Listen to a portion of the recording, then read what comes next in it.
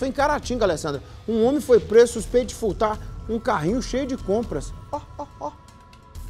Que isso, gente? Ué, Alessandra, eu vi leite ali também, mas eu vi também cerveja. Leite com cerveja? Que conversa é essa? Ô, Nico, olha só que situação inusitada que aconteceu ali na cidade de Caratinga. Isso foi ontem.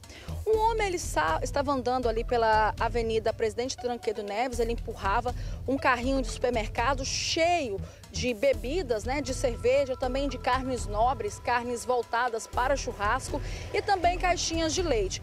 Como esse homem ele já era assim um velho cliente da polícia, ele já era aí conhecido por crimes como furto. A polícia então fez abordagem a esse homem que não soube falar né, da procedência aí de onde que ele tinha adquirido esses materiais, não apresentou nenhuma nota.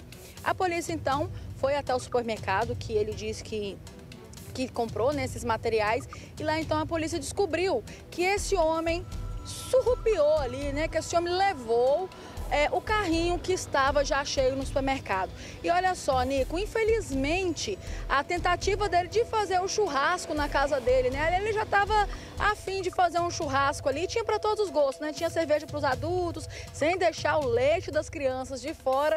E então levou o carrinho, simplesmente ficou com preguiça até mesmo de escolher ele mesmo os produtos, né? Levou até o carrinho que já estava cheio ali, conforme a polícia. Só que agora ele não vai ter como fazer esse churrasco, né? Vai ter que ser suspenso aí o churrasco e já avisar para a turma que iria compartilhar com ele aí que não vai ter jeito não, que agora ele está na delegacia de polícia e os materiais foram devolvidos aí para o supermercado, Nico.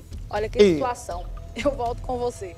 E um pacote de açúcar também fez falta ali para fazer queimadinha? Não é não leite queimado? Olha o tanto de leite que tem lá. Ué, eu não bebo, ele me chama pro churrasco.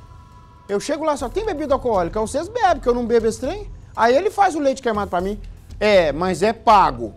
É pago. É tudo comprado. Negócio de churrasco aí que levou coisa, não me chama não que eu tô fora. Eu, em Cruz Credo. Agora, tem carvão lá, mas não tem a carne. Esse negócio não é churrasco, não é, Lamonia? Hein, ô Nuck? Hein, Gabigol? Olha lá, não tem carne não, negócio não. Ah, a carne deve ser... Ah, a carne ele ia comprar depois também, né? Hã?